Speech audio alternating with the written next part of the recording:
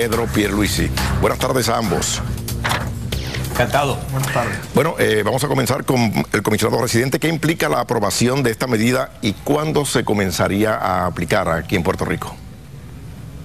Bueno, la Comisión de Asignaciones le dio una directriz en, su, en el proyecto que aprobó eh, a la Oficina del Control de Drogas, del SAR contra la Droga, de que en el término de 180 días desde que este proyecto de asignaciones se convierte en ley, tiene que publicar esa, estrategia y que tiene que ser eh, similar, muy similar a la que hay con la frontera eh, de México y la que hay para la frontera con Canadá. O sea, es un gran logro porque lo que hemos estado haciendo el gobernador y yo desde hace años es pidiendo primero una estrategia general eh, para la lucha contra el narcotráfico aquí en el Caribe, incluyendo Puerto Rico y las Islas Vírgenes, y por otro lado reclamando que nos asignen más recursos. Eh, Fortuño, ¿esta estrategia sería similar a, o estaríamos por debajo a la implantada, por ejemplo, en la frontera con, con México?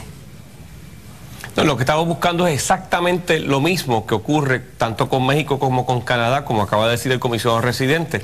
Y hoy, a ese eh, paso que acaba de dar el Congreso, se unen ocho gobernadores de toda la nación que hoy estamos firmando una carta al presidente Barack Obama exigiéndole que establezca esta, esta iniciativa de la frontera del Caribe y mañana a las 9 de la mañana, tanto el comisionado residente como yo, estaremos testificando en vista pública precisamente para ese mismo tema. O sea que estamos llevando la presión que hemos estado llevando por los pasados tres años eh, al Congreso de los Estados Unidos también. Bueno, eh, a partir de este momento, a corto o a largo plazo, ¿cuándo se vería un descenso en la actividad eh, de trasiego de narcóticos aquí en Puerto Rico? Bueno, mira, Ramón Enrique, no podemos esperar estrictamente a que, el, que el gobierno federal haga su trabajo, aunque estamos exigiendo que nos traten igual que a los ciudadanos americanos en los 50 estados en cuanto a la protección de nuestra vida.